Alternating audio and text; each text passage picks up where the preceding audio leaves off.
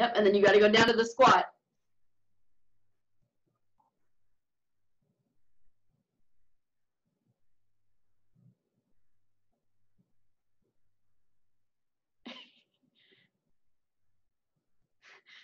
So let's just go for the double turn, man. She said, forget it. I got the double down. Let's go. Come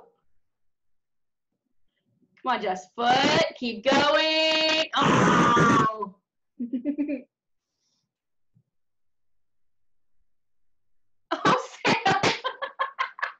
Remember though, you guys got you got to go from the L and then like down, dude, and and do the full. You got to do a complete wolf turn.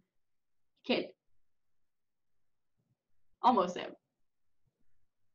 Tighten up your knees.